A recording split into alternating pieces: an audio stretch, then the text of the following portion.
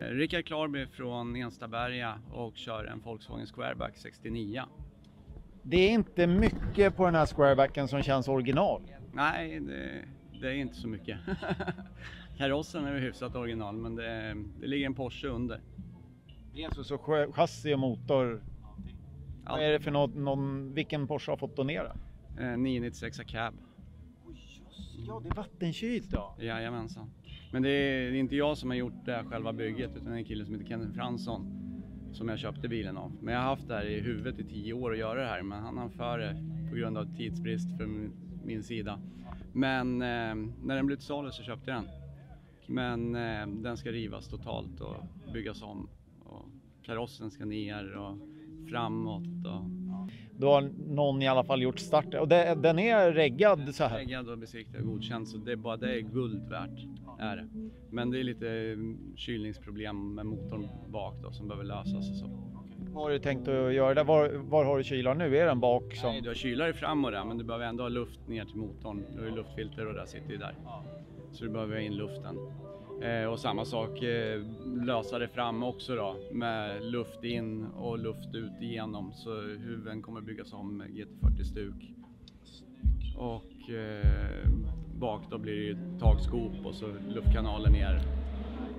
Men du, vad, vad, alltså just det här uh, squareback på Porsche, alltså var, var fick du idén? Oj, det var nog från USA när de började göra om bilar där. Äldre karosser på nyare chassin. Så det är ju typ tio år sedan som jag fick idén och ville göra det. Men sen så har man haft andra bilar som man har byggt och sådär och tiden har inte räckt till. Men nu har man äntligen ett sjubilsgarage där man kan hålla på och pula. Så. Nu är jag avundsjuk på allvar. Men alltså är det så att chassit i princip är från 996 rakt av eller? Ja, det är rakt av under. Du ser ju här, här liksom. Så det är, det är ju typ bara påskruvat på. Och sen om man säger liksom buren, ramen, så är det mer rör, rörramschassi eller vad man ska säga. för Nej, det är ju det är hela plattan. I och med att cabben är ju förstärkt. Är det ju. Så du kan ju egentligen plocka av allting och så har du ett stabilt chassi så kan du köra med det.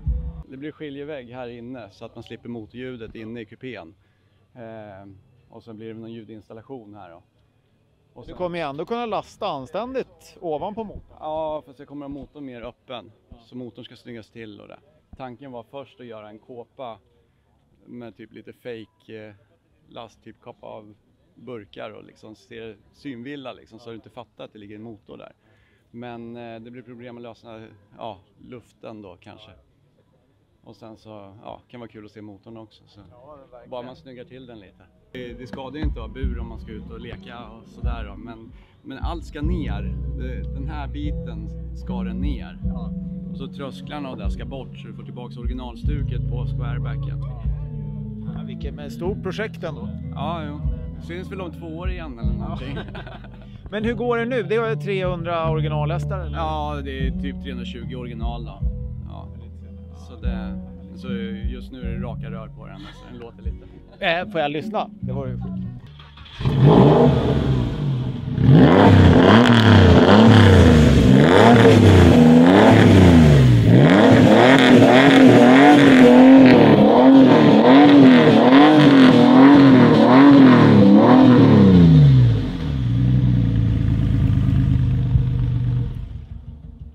Snyggt, men jag gillar ju ändå skärmbreddningen bak. Kommer du ha kvar det eller kommer allting där att rivas och göras om? Eller? All, allt ska göras om. Eh, för det ska liksom bli lite cleanare, lite snyggare allting. Eh, så det, du kommer kanske ha skärmbreddningen uppe här när det sänks ner sen. Eh, så jag letar en sån här i plåt om det är någon som har. Så,